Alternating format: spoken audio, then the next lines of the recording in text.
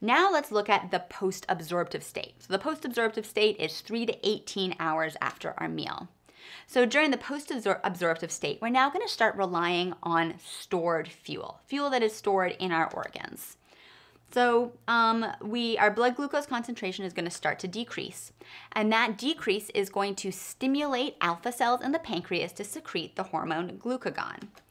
Glucagon is going to stimulate the liver to perform glycogenolysis to break down glycogen into individual glucose molecules that the liver will then release into the bloodstream to help bring our blood glucose concentration back up, to keep a nice, stable blood glucose concentration.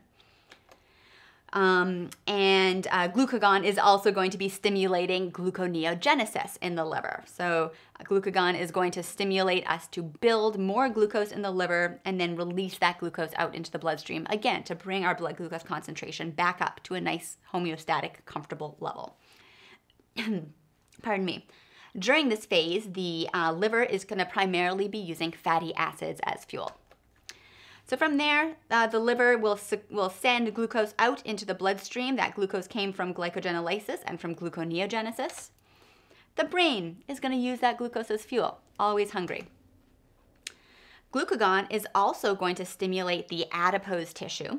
Specifically, glucagon is going to stimulate lipolysis in the adipose tissue. So remember that lipolysis is when we take a triglyceride and we cleave the fatty acids off of the glycerol backbone. And so glucagon is essentially going to stimulate the adipose tissue to perform lipolysis so that the adipose tissue can release fatty acids into the bloodstream and that is so we can use fatty acids as fuel. The adipose tissue will also be using fatty acids as fuel in this situation. So those are the fatty acids that have been released into the bloodstream from the adipose tissue. And those fatty acids will be used as fuel by the liver and by the muscle. Now, what's going on in the muscle?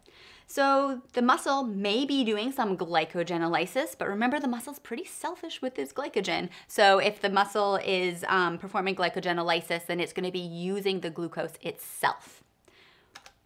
Um, otherwise, the muscle will be using fatty acids as fuel. And that is the post-absorptive state, so 3 to 18 hours post-meal.